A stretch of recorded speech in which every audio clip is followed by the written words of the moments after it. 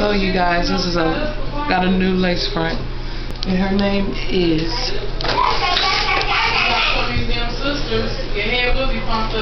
Freetress equal. This is box. Taping a video real quick. Taping a video. Just got her out the box. I also have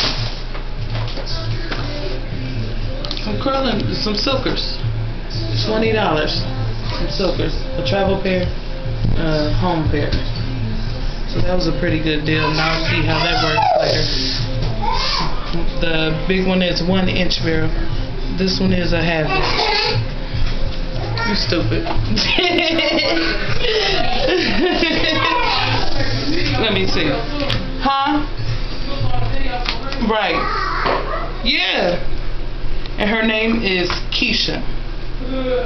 In one. So I'm about to go cut the lace off. Be back.